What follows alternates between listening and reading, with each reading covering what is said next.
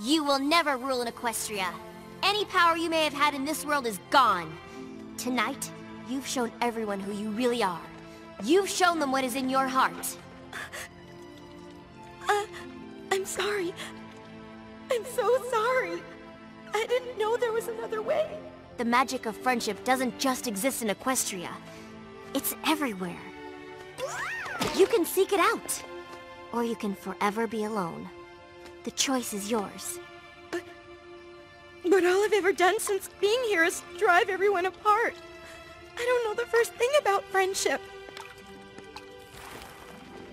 I bet they can teach you.